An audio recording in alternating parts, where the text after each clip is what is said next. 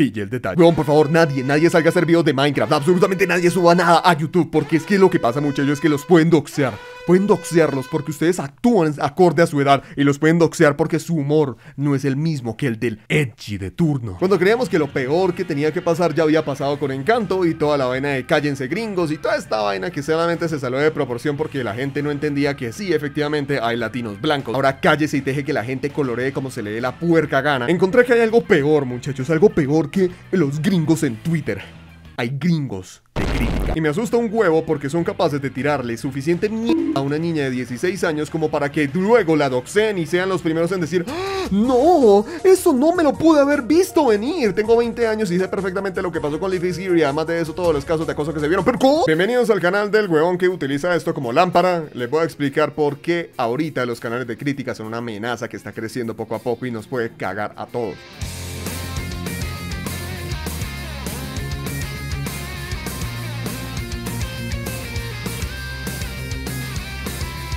Hay una pelada que se llama Jellybean, es una calabaza, bueno, es una sardinita de 16 años que lo único que hace es su gran pecado es subir videos de Minecraft. O bueno, el gameplay de Minecraft de fondo. Se enfocó más que todo en los YouTube Shorts, que son este engendro del demonio entre TikTok y YouTube. ¿Se acuerdan de las stories que estaban los videos de 24 horas que duraban ahí en Snapchat y todo el mundo le copió? Instagram, Facebook, YouTube, que todo el mundo sacó stories, pues claramente pasó lo mismo con TikTok. Todo el mundo sacó sus videos cortos, Instagram Reels, YouTube Shorts, pues esta pelada se dedicó a subir TikToks de YouTube, YouTube Shorts y fue de p madre, weón. En este año ha logrado 2 millones de seguidores y además de eso los videos le están rozando en promedio un millón y medio de visitas. Pero su gran pecado hizo lo peor, weón. Es que no puedo creer que un humano, que un padre permitiera que su hijo fuese un niño normal. Cometió el incorregible y desalmado pecado de tener infancia y actuar como una niña de 16 años. ¿Por qué? Y no estoy diciendo que todos los niños de 16 años van a ser escandalosos y que les va a gustar los colores, weón. Hay gente de gente. Yo a mis 16 años, drap, este meme. Pero el común denominador van a ser estos niños, no los hijos de los mamadores en Facebook que dicen mi hija tiene 16 meses y ya invierte en Bitcoin. No, weón, es una pelada que le gusta jugar Minecraft, jugar Roblox y se cae la risa por los efectos así distorsionados de pedo.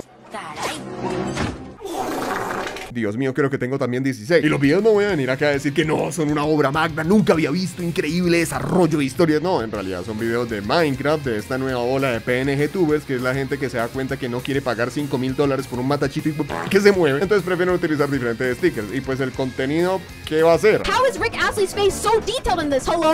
What the what the dog doing? That doesn't even look like a Minecraft skin. What is that thing? How do I read your most embarrassing comments. This is what happened when I accidentally walked into the girl's bathroom. I'm a guy. Oh, a Shrek cookie! You guys are bloody genius! ¡Wow! ¡Qué cringe! ¡Qué porquería! ¡Qué me dio cáncer en los ojos! Dijo el niño Edgy sin papá. Obvio, huevón, ensordece, tiene más colores que el hijo de reproductor de Windows, pero cualquiera que tenga dos neurones funcionales se da cuenta que es una niña haciendo contenido para niños. Cringe, asqueroso y que efectivamente te pudre los ojos. Es una persona como en su época YOLO que agarraba peladas para un canal que se sabía perfectamente que lo veían menores de edad y la empezaba a empelotar, a quitarle la ropa por cada quien en Free Fire. Ahí sí, papá, con todo el gusto tírele mierda. Lastimosamente no todo puede ser bonito y chévere, vale, perfecto. Se ve ese tipo de contenido, efectivamente da cringe porque pues weón, si tú miras Papa Troll esperando cagarte la risa teniendo 42, no sé qué esperar de ti. Pero el punto de quiebre fue cuando Jellybean pidió a su audiencia que hicieran el YouTube Shorts con el mayor número de comentarios. Pidió que spamearan en su video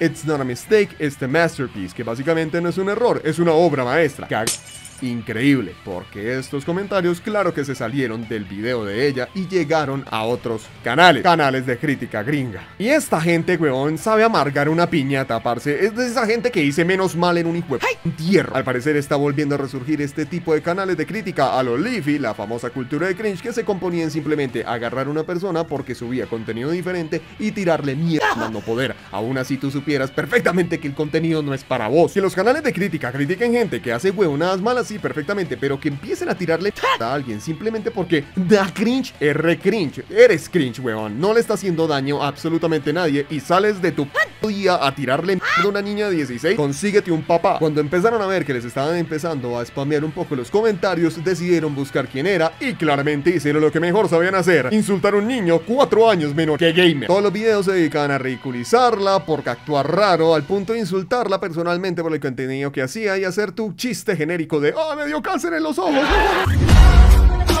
y la criticaban objetivamente diciéndole, deberías de tener mayor control sobre tu audiencia. Y la audiencia de estos canales que hizo, ni cortos ni perezosos, la doxearon, le filtraron su nombre real, la cara que ella se tapaba siempre, también la cara de toda su familia y su dirección. Este es mi triple problema con los canales de cringe, que son canales que lo único que saben hacer es tirarle un montón de ácido, de toxicidad, de odio a una persona y dicen, ay no, este video mío tanto cringe que más Ojalá se vaya este hijo plataforma y contenido de mí. Pero apenas la doxean son los primeros en decir, ¡Ah! ¿Cómo? ¿Cómo pasó esto? Huevón, a lo bien, se las dan de maduros, inteligentes y sabios y no entienden que algo tan sencillo de historia como lo que pasó con Leafy. Si tú haces contenido ácido, si haces contenido peyorativo y despreciante hacia personas, claramente vas a traer personas que también quieren despreciar a otros. Bueno, un adulto, alguien que está haciendo daño, huevón, pero tirarle porquería a una niña porque sus fans te spamearon los hijos comentarios, teniendo vainas tan fáciles de implementar en un canal como un filtro de palabras, si tú no quieres que te salga masterpiece o mistake, pues simplemente ponlo es tus malpack configuraciones de YouTube y sencillo, ya cada vez que alguien ponga esa web palabra en tus comentarios se va a guardar en spam. ¿Era necesario tirarle a una niña de 16 años que hace contenido para el tipo de audiencia que ella sabe que la mira, que son peladitos, niños chiquitos? Les pongo 200 dólares ya en juego, les apuesto que estos cabroncitos va a llegar el momento que va a pasar la misma que pasó con Leafy. Ah, todo el mundo da cringe, que cringe que este gordo y fue.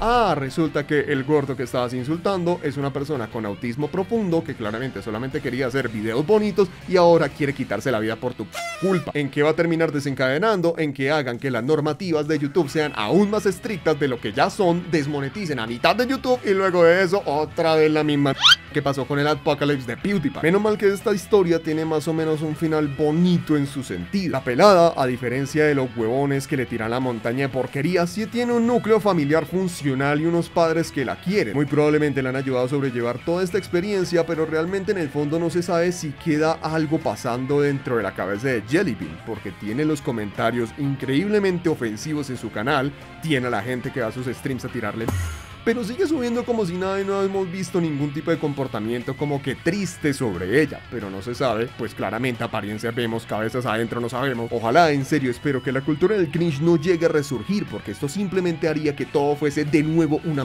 de difícil, va a ser más difícil monetizar los videos, va a ser mucho más difícil entender que es una crítica constructiva, que no. Y también ojalá se entienda que este tipo de contenido no, no eres un chico cool por tirarle mierda a youtubers de Minecraft, no eres chévere por decir, wow, el contenido infantil no es para mí. No, no eres cool, no estás mostrando cringe. Tú eres el cringe.